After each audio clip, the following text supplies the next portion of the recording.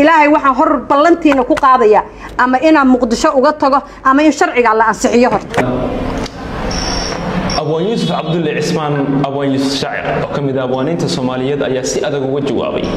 Hadal xalay ka soo yaray gudoomiye ku-xigeenka koowaad ee golaha shacabka sacdiya yaasiin xaaji samatar kaasoo ahaa inay ballan qaadayso inay ansixin doonto xeerka jinsiga.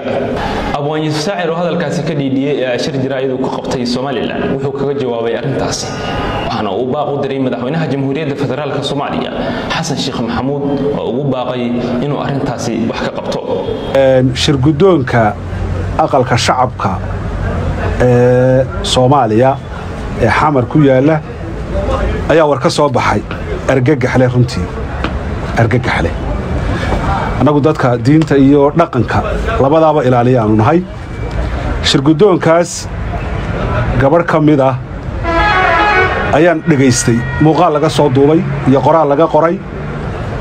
Waxay ku doodaysaa waxaan ay u bixiyeen jinsiga.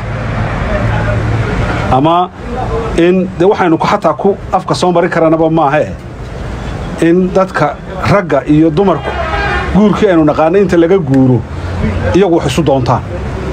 Waa wax caalamul galbeed laga keenay ama dhaqankan galbeedka iyo gaarada laga soo waariday. Marka gabadhaasi waxay leedahay dadkii haddii aadna ilaalin weydaan oo iyadoo marmarsiya ka dhiganaysa diintii iyo culimmadii marmarsiya ka dhiganaysa waxay leedahay waa la wada gaaloobaya oo sidanaa la noqonaya oo aakhirkana waxay leedahay haddaan xeerkaa jinsiga meel marin waayo muqdisho wa iskaga tegaya waa arrin runtii qof kastoo islaama argagax gelinaysa oo naxdin leh. Arrintaasaan doonayaa maanta inaan kelmad ka idhaahdo. Inantaa waxaan ku odhan lahaa horta ilaahay u soo noqo. Ummaddani waa ummad islaama ummad waxaasi ka suuro gelayaan maaha.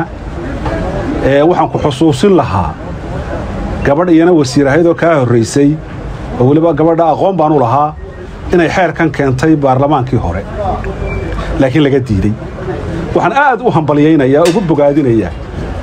Gudoomiye ku-xigeenkii hore ee la odhan jiray muudey oo si fiican oo diiniya oo dadnimo leh uga hadlay arrintaa hore oo isu hortaagay isaga iyo aqalkiisii hore ee shacabkii hore ee baarlamaankii horeba ay u diideen waa ku bogaadinayaa.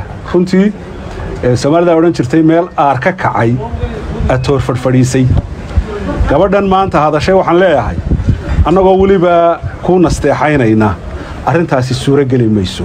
Dad islaama baanu nahay dad dhaqan le baanu nahay dad waxaasi ka suuro gelayaan ma nihin adiguna ka noqo. Adiga iyo cidda mashruuca ku soo siisay midna u suurtogeli mayso. Mid waa madaxweynaha xasan sheekh. Dee madaxweyne magacaagana waa xasan sheekh. Dagaaldha waa ku jirtaanaa weji islaamiya u dhigaysaan.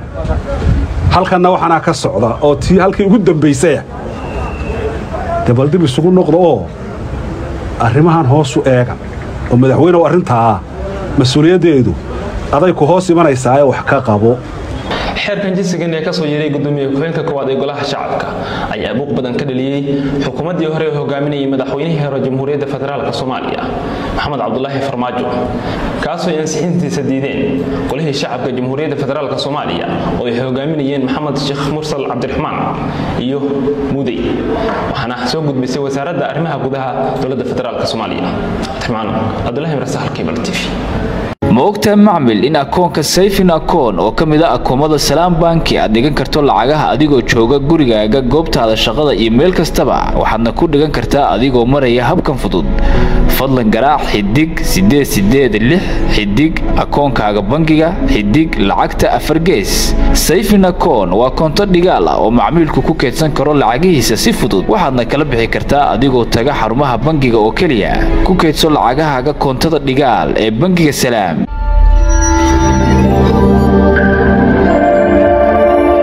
haddii aad safar aad tahay dooro bas.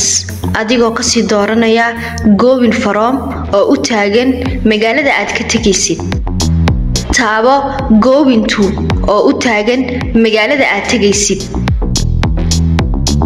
taariikhda aad baxayso dooro shirkadda aad ku safraysid ka sii dooro kursiga aad jeceshahay inaad ku safarto. Geli magacaaga oo saddexan